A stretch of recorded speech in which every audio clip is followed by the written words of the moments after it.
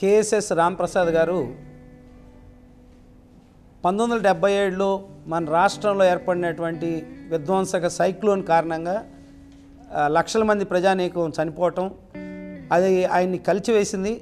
ఆ సందర్భాన్ని పురస్కరించుకుని ఇలా ఒక తుఫాన్ని మనం లెక్కించలేకపోవటం వల్ల సరైన సమయంలో ప్రిడిక్ట్ చేయకపోవటం వల్ల ఇంత ఆస్తి నష్టం ఇంత ప్రాణ నష్టం మూగజీవాలు ఇన్ని కూడా చనిపోతా ఉన్నాయి కాబట్టి ఓ కృష్ణా జిల్లాలో పుట్టినటువంటి వ్యక్తిగా ఆయన వీటి పట్ల కలత చెంది మనం గనక ముందుగానే ఇలాంటి తుఫానులు కానీ అల్పపీడనాలు గనక గుర్తించగలిగితే కొన్ని కోట్ల మా ఆస్తి నష్టాన్ని అలాగే కొన్ని లక్షల మంది జీవుల యొక్క ప్రాణాలని నష్టపోకుండా కాపాడవచ్చు కాబట్టి దీని గురించి ఏదో చదవాలనేటువంటి ఒక ఆశయంతో వాళ్ళ వంశపరంగా వాళ్ళ తాతగారు లేకపోతే వాళ్ళ కుటుంబంలో వచ్చినటువంటి పరిజ్ఞానాన్ని ఉపయోగించుకుని ఆయన చెప్తున్నటువంటి ప్రొడిక్షన్స్ గత డెబ్బై ఏడు తర్వాత మొదలుకొని ఆయన చేసినటువంటి దాదాపు ఒక ముప్పై నలభై ప్రొడిక్షన్స్లో ఒక దాదాపుగా ఎయిటీ టు నైంటీ పర్సెంట్ ముందుగానే ఈ- డిప్రెషన్స్ని సైక్లోన్స్ని ఆయన రెండు మూడు నెలలుగా ప్రిడిక్ట్ చేశానని చూపించడం జరిగింది. సో దానికి ఆయన చెప్తున్నటువంటిది ఉద్దేశం అంటే సాంప్రదాయిక పరిశీలన పరిజ్ఞానం. అంటే దీన్ని ట్రెడిషనల్ సైన్స్ అంటాం. దీన్ని సాంప్రదాయక విజ్ఞానం. సాంప్రదాయక విజ్ఞానం అంటే మనం పరిశీలన ద్వారా చేస్తాం. దీంట్లో పరికరాలు ఉండవు. మనిషి యొక్క తార్కిక దృక్పథం లాజిక్ థింకింగ్ అంటాం. లాజికల్ థింకింగ్ తార్కికంగా ఆలోచించటం తర్వాత ఒక నియమ పద్ధతిలో ప్రకృతిని పరిశీలించటం దానిలో ఏర్పడేటువంటి విషయాలని ఒక అవగాహన ద్వారా ఒక ఆశయానికి రావటం. ఇది హైపాథటికల్గా అనిపించినా కూడా ఇదేమి నాన్ సెన్స్ మాత్రం కాదు. నేను ఒక సైన్ సైన్స్ నమ్మేవాడిగా చెప్తున్నాను. అయితే దీంట్లో వ్యాలిడేషన్కి సంబంధించింది ఏం కొలిచావు నువ్వు? ఎంత రిలీజ్ అయింది అని అంటే అతని దగ్గర సమాధానం లేదు. కానీ అతను చెప్పే దాంట్లో సాంప్రదాయకంగా ట్రెడిషనల్ విజ్ఞానాన్ని తీసికొట్టేసి దీన్ని పనికిరాదనేటువంటి పరిస్థితి కూడా లేదు. ఎందుకనంటే అతను ఎగ్జాక్ట్ సైంటిఫిక్ టర్మ్స్ని వాడకపోవచ్చు కానీ అతను చేసే పరిశోధనలో మన భారతీయ తత్వశాస్త్రంలో కూడా చాలా వరకు కూడా తుఫాన్లు ఉదాహరణకి మనం కన్నెరిపెక్కినా మిన్నెరిపెక్కినా కారకమాంది అంటాం. ఆయన చెప్పేది ఏంటంటే ఆకాశం ఎరుపుగా మారింది పల్చటి మేఘాలుండి ఎరుపు శక్తి కనుక విపరీతంగా ఉన్నట్టయితే అది సముద్రపు అలల నుంచి తాకిడి వల్ల ఎక్కడైతే ఇసుక బలహీనంగా ఉందో సింక్ అంటే మనం ఊబిలు అంటేమో సముద్రం లోపల ఊబిల్ లాంటి క్విక్ శాండ్ ఉన్న ఏరియాలో సముద్రపు అలలు విపరీతంగా ఏర్పడినప్పుడు ఆ అలల శక్తి కిందికి వెళ్ళి ఆ ఏర్పడినటువంటి శక్తి ఎక్కడైతే భూమి మీద తిన్నగా రిలీజ్ అవుద్దో తొంభై డిగ్రీలో అప్పుడు సన్డాగ్ మూండాగ్ అంటే సూర్యుని చంద్రుని చుట్టూ ఏర్పడే వలయాలు ఏర్పడతాయి. ఆ వలయాలు ఏర్పడే ఎత్తు ఆ వలయాలు కిందికి దిగేటువంటి రేట్ ఆఫ్ ఫాలింగ్ అంటాం. అంటే ఆ- ఆ అండ్ మూండాగ్ ఏ ఏ రేట్ని కిందకు వస్తున్నాయి?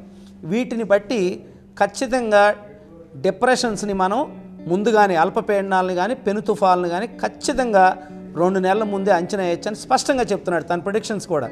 అంటే అలా ఏర్పడిన సందర్భాల్లో గతంలో ఆయన చెప్పి క్లెయిమ్ చేసింది ముప్పై నుంచి నలభైకి పైగా ప్రొడిక్షన్స్ ఆయన చేయడం జరిగింది. వాటిలో నైంటీ పర్సెంట్ కరెక్ట్ అయినాయి.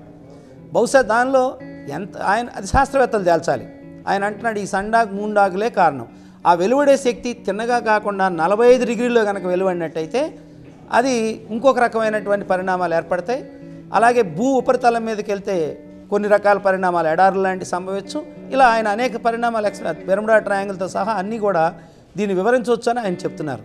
కాబట్టి దీన్ని ఎవరైనా సరే దాని గురించి తెలియదలుచుకున్నా లేదా సహకరించినా ఖచ్చితంగా ముఖ్యంగా మన ఆంధ్ర రాష్ట్రం వరకు తీసుకుంటే నా మటుకు నేను రాంప్రసాద్ గారు చేసే నా సలహాలను కనుక సూచనలు తీసుకుంటే ప్రభుత్వం దానివల్ల నష్టమేం లేదు కాబట్టి అతని యొక్క సలహాలని సూచనలు తీసుకుని సాంప్రదాయిక విజ్ఞానాన్ని సాంకేతిక పరిజ్ఞానాన్ని అంటే ఇప్పుడు ఇస్రో దగ్గర ఉన్న సాంకేతిక పరిజ్ఞానం రెండూ కలిపి మన తీర ప్రాంతంలో తొమ్మిది జిల్లాలు చాలా పెను ప్రమాదంలో ఉన్నాయి కాబట్టి సంవత్సరంలో దాదాపు మనం ఎక్కువ భాగం ఈ ప్రకృతి వైపరీత్యాలు పాలిట పడే అవకాశం ఉంది కాబట్టి ఇలాంటి వాటి ద్వారా మనం ప్రజలకు ముందే కనుక తెలియజెప్పగలిగితే కొన్ని కోట్ల రూపాయల సంపద ఆవిరవ్వకుండా కాపాడేటువంటి అవకాశం ఉంది.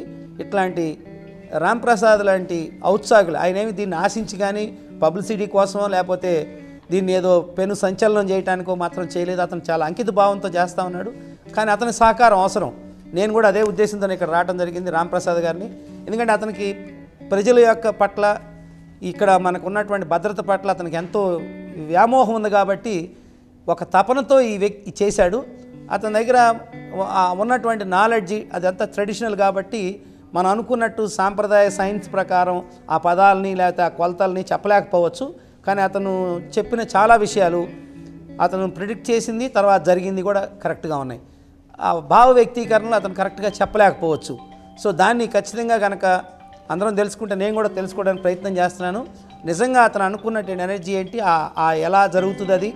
దీని మీద కనుక అధ్యయనం చేసినట్టయితే శాస్త్రవేత్తలు రాంప్రసాద్ యొక్క కృషి ఖచ్చితంగా అభినందనీయం. అది సమాజానికి ఎంతో ఉపయోగపడద్ది. అది మనం తీసిపారాయాల్సిన విషయం మాత్రం కాదు. చాలామంది శాస్త్రవేత్తలు రాస్తే వాళ్ళు రెస్పాండ్ కూడా కాలేదు. ఐఎండి అది అవహేళనగా కాకుండా సీరియస్గా ఆలోచించాలి మనం.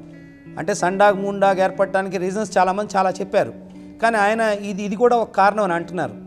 అలాగే అరోరా బొలియాస్ అరోరా ఆస్ట్రాలిస్ కాంతులు రావడానికి కారణం సైంటిస్టులు అయితే చార్జర్ పార్టికల్స్ ఆ కాస్మిక్ రేస్ నుంచి వచ్చేటువంటి ఎనర్జీ అక్కడ మ్యాగ్నెటిక్ ఫీల్డ్స్ వల్ల ఇవి ఏర్పడతాయని చెప్పారు. ఆయన దానికి కూడా కారణం చెప్తున్నారు. ఇది కూడా బహుశా బర్ముడా ట్రయాంగిల్ ఏర్పడినా లేకపోతే ఇదైనా ఎలినినో రావటానికి వీటన్నిటికి కూడా ఈ శక్తితో లింక్ ఉందని చెప్తున్నారు కాబట్టి దాన్ని ఎంతవరకు ఇది సమ్మతం కాదు అనేది వెరిఫై చేయాల్సిన అవసరం ఉంది.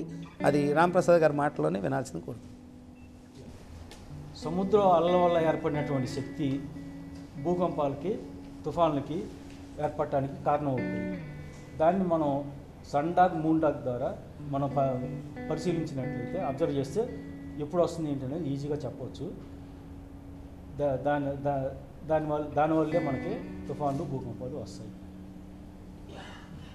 సివియర్గా వస్తే ఎక్కువ శక్తి విడుదల ఎక్కువ వస్తే తీవ్రమైన తుఫాన్లు వస్తాయి. తక్కువగా వస్తే డిప్రెషన్స్ వస్తాయి. అలాగే సునామీలు కూడా ఎక్కువ సింగిల్ బ్లాస్ట్ అయినట్టుగా శక్తి ఒకే ఒకే వేలో వచ్చినట్లయితే సునామీలు తీవ్రమైన భూకంపాలు వస్తాయి. అలా కాకుండా ఒకేసారి మల్టీ బ్లా బ్లాస్ట్ అయినట్లయితే వి- వివిధ దేశాల్లో వచ్చి తక్కువ శక్తితో భూకంపాలు వస్తాయి. అలాగే భవిష్యత్తులో భూ తుఫాన్లు కూడా రెడ్యూస్ చేయొచ్చని నేను భావిస్తున్నాను. సైక్లోన్ ఐ పై పైనుంచి డ్రై ఐస్ స్ప్రే చేయటం వల్ల సైక్లోన్ ఐలో ఉన్నటువంటి వేడిని తగ్గించడం వల్ల స- సైక్లోన్ తీవ్రతను తగ్గించవచ్చు. అలాగే ప్రకృతిలో కూడా జరుగుతుంది. దాని అదే. అక్టోబర్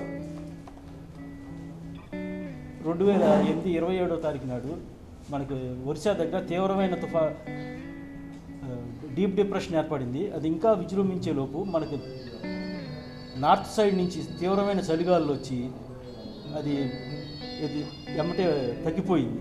అలాగే సముద్రంలో మనకి భూక తుఫాన్లు వస్తున్నాయి చాలా వస్తున్నాయి మనం చూస్తూ ఉన్నాం. అంతలోనే అది చలిగాల వల్ల ఆగిపోతూ ఉన్నాం అట్లాగే మనం అంటే ఇది ప్రకృతి సిద్ధంగా తుఫాన్లు తగ్గి తగ్గుతుంది. ఇంకోటి ఏంటంటే విపరీతమైన వేడి వల్ల ఎల్నిమో వల్ల మామూలుగా ఎప్పుడు కూడా ఎల్నిలో ఉన్న వచ్చినా కూడా సము సముద్రంలో ఈ సండాకు ఈ సండాక్ ముండాక్ ఏర్పడతా ఉంటాయి.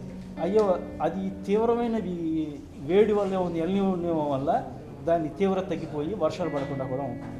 అలాగే తీవ్రమైన తుఫాను వచ్చినప్పుడు కింద నుంచి మనం వేడి వేడి గాలులు కానీ లేకపోతే వైబ్రేషన్స్ కానీ పంపిస్తే దాన్ని కూడా మనం తుఫాన్ తీవ్రత తగ్గించవచ్చు అని నేను భావిస్తాను ఈ వీడియో మీకు నచ్చినట్లయితే లైక్ చేయండి షేర్ చేయండి. మరిన్ని ఇలాంటి వీడియోస్ కోసం మా ఛానల్ని సబ్స్క్రైబ్ చేసుకోండి.